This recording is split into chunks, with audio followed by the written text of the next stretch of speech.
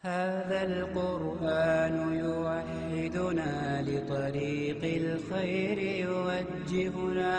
الله تعالى أنزله ورسول الله معلمنا. ورسول الله معلمنا. إن الحمد لله نحمده ونستعينه من يهده الله فلا مضل له ومن يضلله فلا هادي له. وأشهد أن لا إله إلا الله وحده لا شريك له وأشهد أن محمدا عبده ورسوله أما بعد. வலைக்கும் அஸ்லாம் வரமத்துல்லாஹி வரகாத்து ஆகுமாக்கப்பட்ட விலங்குகள் மனித கழிவுகளை சாப்பிடுகின்ற போது அது ஹராமாகி விடுகின்றது என கூறிய உங்களுடைய கூற்று தவறானது என்றொரு ஆலிம் கூறுகின்றார். அது பற்றி நீங்கள் என்ன கூறுகின்றீர்கள் என்று அடுத்ததாக ஒரு கேள்வி தொடுக்கப்பட்டிருக்கின்றது. அல்லாஹின் தூதரினால் நன்மாராயம் கூறப்பட்ட ஜமாஅத்துல் முஸ்லிமீனின் சிறப்பம்சம் அடிப்படை அடையாளம். வகியை பின்பற்றி வகியிலே ஒன்றிணைந்திருக்கக்கூடிய நாம் எம்மிலே ஏதேனும் தவறு காணுகின்ற எந்த ஒரு ஆலிமாக இருந்தாலும் ஆதாரங்களோடு அவற்றை முன்வைக்குமாறு அன்போடு அவர்களை நாம் அழைக்கின்றோம்.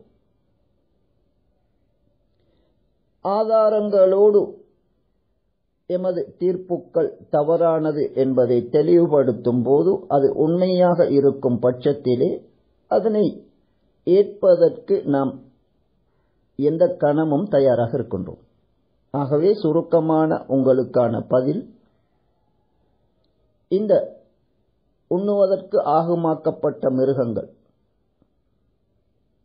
முதலிலே மனித கழிவு அல்லாத ஏனையவற்றின் கழிவுகளை எமக்கு உண்ணுவதற்கு அனுமதிக்கப்பட்ட இத்தகைய மிருகங்கள் உண்ணுகின்றனவா? என்ற விடயம் உட்பட ஜல்லாலா என குறிப்பிடப்படுகின்ற இந்த விடயம் பற்றி. உங்களுக்கு எந்த ஆலிம் அதிலே நாம் தவறிழைத்திருக்கின்றோம் என கூறினாரோ அவரிடம் இது பற்றிய சரியான நிலைப்பாட்டையும் அதற்குரிய தெளிவான ஆதாரங்களோடு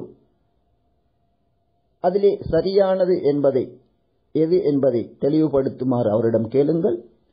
அந்த பதிவை முன்வைத்து நீங்கள் இதிலே எது சரியானது என்று கேட்கின்ற போது அதனை செவிமடுத்ததன் பிறகு அது பற்றி நாம் இன்ஷா அல்லாஹ் தெளிவுபடுத்துவோம். எனவே முதலிலே ஜெல்லாலா என்ற விடயத்திலே நாம் தவறிழைத்திருப்பதாக சொல்லுகின்ற அந்த ஆலிம் ஆலிமாக இருக்க வேண்டும் என்பது நிபந்தனை.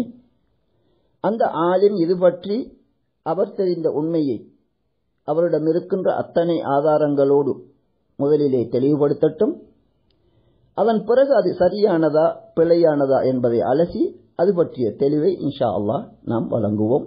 அந்த பதிவை நீங்கள் முன்வைத்து இங்கே குழுமத்திலே உங்களது கேள்வியை முன்வைக்குமாறு உங்களிடம் நாம் கேட்டுக்கொள்கின்றோம்.